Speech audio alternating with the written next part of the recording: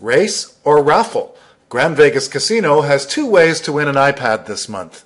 The online casino is giving iPads to winners of its $5,000 iPad Challenge leaderboard race and July 18th live raffle.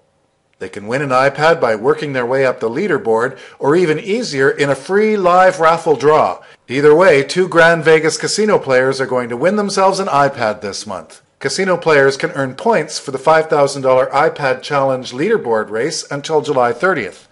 The live raffle iPad draw is July 18th. Grande Vegas casino players earn points whenever they play, deposit, or wager.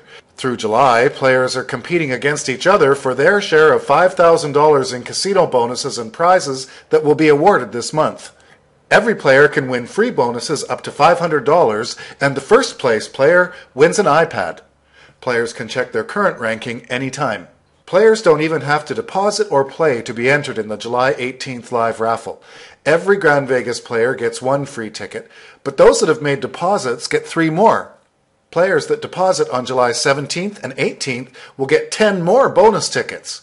To win raffle prizes, players must be logged on between 11 a.m. and 1 p.m. Eastern Time on July 18th. The iPad winner will be drawn in the final raffle at 12:45 p.m. that day. Players can also get a 100% deposit bonus up to $100 free on July 17th and 18th. The coupon code is RAFFLE0717. Grande Vegas, popular with online casino players around the world, features Las Vegas favorites like blackjack and the new multiplayer French roulette, as well as dozens of amazing slots games like the new Three Stooges 2 and Loch Ness Loot. Complete iPad giveaway details are available at www.grandevegas.com.